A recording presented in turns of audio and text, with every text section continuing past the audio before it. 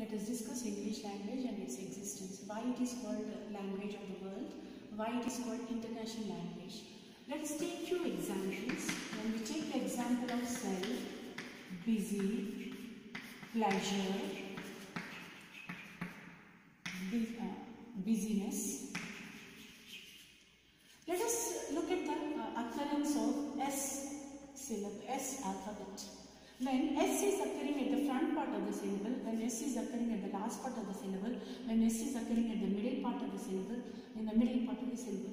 You notice when we are uttering sound S, cell, sir, busy, z, pleasure, z, business, z. Why this sound is changing depending upon its occurrence.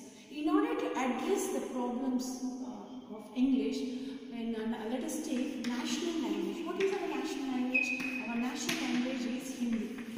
Hindi, when we take Kamal, Kam, and uh, when we go for regional language, Telugu that is, uh, like Kamala, Palaka, Balapa, whenever the Ma sound is occurring or Ka sound is occurring, they are giving the same sounds. Why? Because our national language Hindi and regional language Telugu both are phonetic language.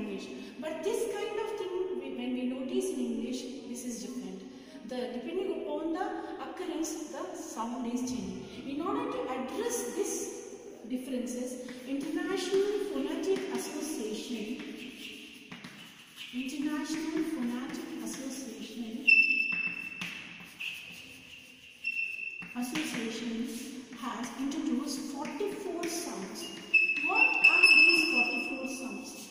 Our 26 alphabets, our 26 alphabets are represented by 44 sounds. Again, these 44 sounds are divided into 20 vowel sounds and 24 consonant sounds. Sounds. And these 20 vowel sounds are again divided into 12 monophthongs, thongs and 8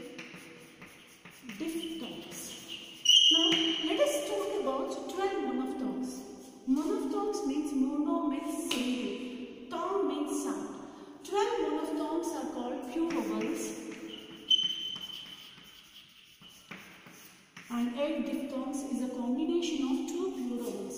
Combination of two pure vowels.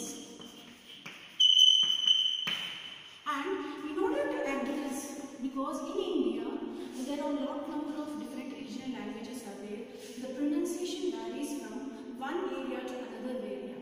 Now, in order to address this one, let us take this example, simple complex method. Now, simple complex method, uh, according to the correct pronunciation, we will be pronouncing it as sim-